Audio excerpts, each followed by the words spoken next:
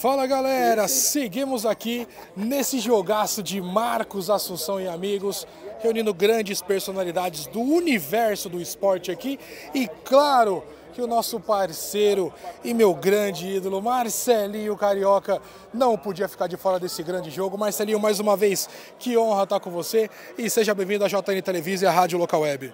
Primeiro um abraço a todos vocês, obrigado pelo carinho e parabéns por fazer essa cobertura de um evento beneficente. Né? E o Marcos Assunção é um cara brilhante, é um cara que mora no meu coração, um esportista daqui de Caeiras e do mundo do futebol, vencedor. Estender a mão a quem precisa, cara, é, é algo inusitado, memorável, algo maravilhoso. E me sinto honrado de poder fazer parte disso, de, de um projeto de cunho social que ele já faz todo ano e poder rever grandes amigos da bola, artistas, né, é, pessoal do samba, enfim, de todos os segmentos. Me sinto honrado de poder estar aqui. Que maravilha. Marcelinho, o, o Assunção agora há pouco, na entrevista que ele, que ele realizou pra gente, ele, ele fez um depoimento assim maravilhoso em relação a você, que obviamente depois nós iremos te mostrar o, tudo que ele falou.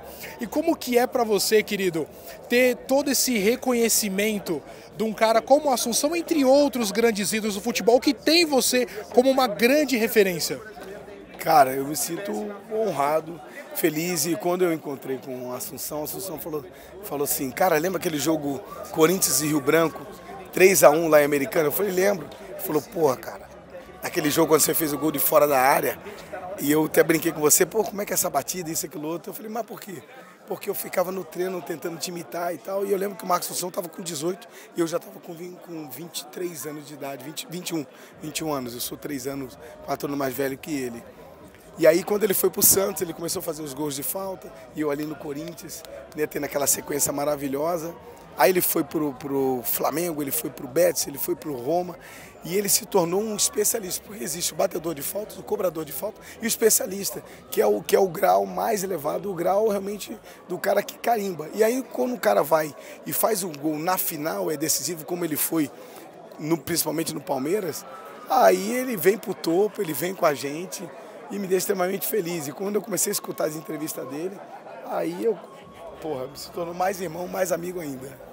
E, e, é incrível ter todo esse reconhecimento, porque você ainda continua sendo um dos maiores batedores de falta da história do nosso planeta, inspirando grandes astros, não só como a Assunção, como, em, como outros, né? Qual que é o recado que a gente também, você também está dando, você até com um projeto também, né, aqui em São Paulo, onde você também está ensinando a molecada, eu vejo direto os seus vídeos lá, falando com a molecada, ensinando como bater na bola, toda a realidade realmente do mundo esportivo, né? Como que é para você hoje poder passar um pouco do seu conhecimento para essa molecada que sonha em defender a nossa seleção?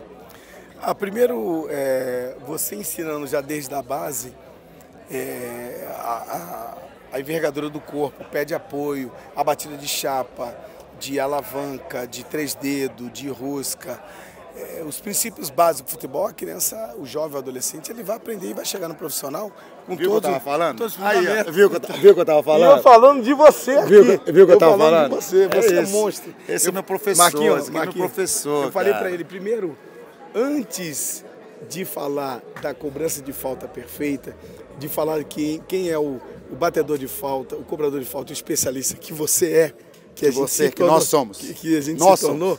Primeiro, um trabalho brilhante que você vem fazendo para Caeiras, para as famílias de Caeiras e região. Né? E esse ser humano maravilhoso que você é, a nossa história de vida. Mas tudo isso é um eu aprendi com vocês, não só dentro de campo, mas ser fora de campo melhor do que somos ou que fomos dentro de campo. Isso eu aprendi com vocês, com a velha guarda. E isso é o que os jogadores mais jovens hoje têm que aprender conosco. É isso, é, é não ser bom só dentro de campo, é ser bom também fora de campo. E esse cara foi sensacional e é sensacional. Mas você é sensacional. Obrigado por ter vindo. Você é Obrigado. maravilhoso. Você Obrigado. sabe que eu aprendi a a amar a sua vida. Esse cara é, não tem preço. Esse cara é espetacular, não tem preço. É um cara que a gente se emocionou junto. Começamos a lembrar a história nossa de, de vida, da, da nossa família, de tudo que a gente é, passou, aonde nós chegamos. Fomos para a seleção junto. Então, é, é, quando a gente se encontra mesmo no dia a dia da vida, a gente chora, a gente se abraça, a gente chora, se emociona, porque é, é gostoso de, de lembrar. Eu eu nem, nem lembro o que eu estava falando antes, onde eu parei, porque chegou perto e Chegou perto já emocionou, emocionou. Você estava falando da- do, do- do- dos ensinamentos, né? É, isso. Pra molecada. Aí o trabalho que nós é, é, pontuamos através do Instituto Marcelinho Carioca, é, é, nós criamos o Terrão Corinthians. Então, Terrão Corinthians Itaquá, Terrão, vamos dizer, Terrão Corinthians Caeiras, Terrão Corinthians Maceió, Terrão Corinthians Natal, Terrão Corinthians Tocantins, porque existem os filhos, os filhos do Terrão, que saiu Casa Grande, saiu Ronaldo, saiu Vladimir.